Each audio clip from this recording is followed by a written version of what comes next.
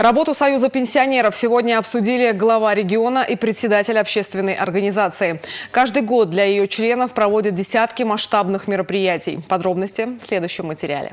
Жизнь Союза пенсионеров бурлит. Став у руля общественной организации, Леонид Шимин начал активно вовлекать пожилых людей в культуру. Недавно в Чебоксарах провели региональный этап поединка хоров среди ветеранов. После того, как были подведены итоги поединка хоров был большой гала-концерт.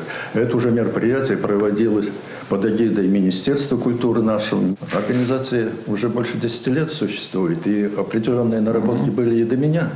Это я просто говорю о том деле, которое мы в последнее время ведем. Но у вас опыт большой, огромный опыт. Это тоже важно.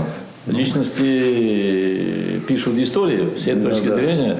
Мы рассчитываем на вас. В Союзе пенсионеров проводят и большую патриотическую работу со школьниками. Мы провели э, в Ядринском районе.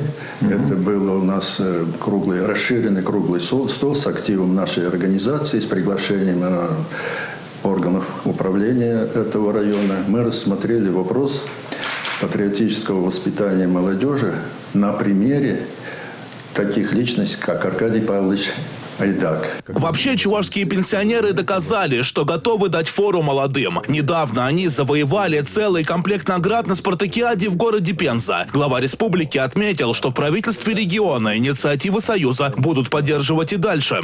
Какие там сигналы, какие предложения с вашей стороны, готовы всегда выслушать, соответственно, и реагировать на них, соответственно, когда есть конкретные предложения по содержательной части, на что органы власти должны среагировать.